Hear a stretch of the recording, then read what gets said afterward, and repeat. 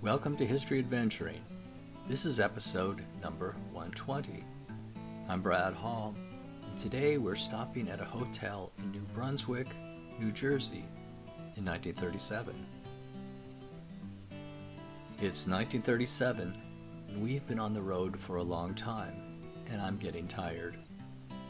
What do you say we stop in New Brunswick, New Jersey? This image, by the way, is from the Duke University site Road, Resource of Outdoor Advertising Descriptions. Looks like we have a couple of choices here.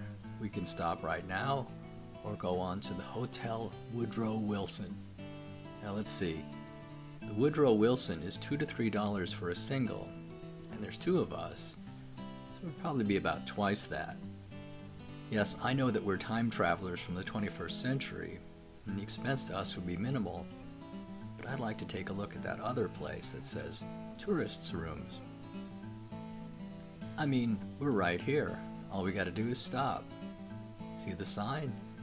It says, All Modern City Improvements.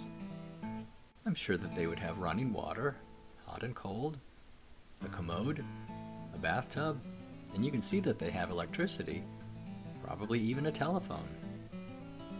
Looks like there's even a convenient place to hang a towel. I can just picture myself sitting there on the porch and looking out towards the garage. Look at those classic cars. My favorite view. This has been History Adventuring. I'll talk to you later.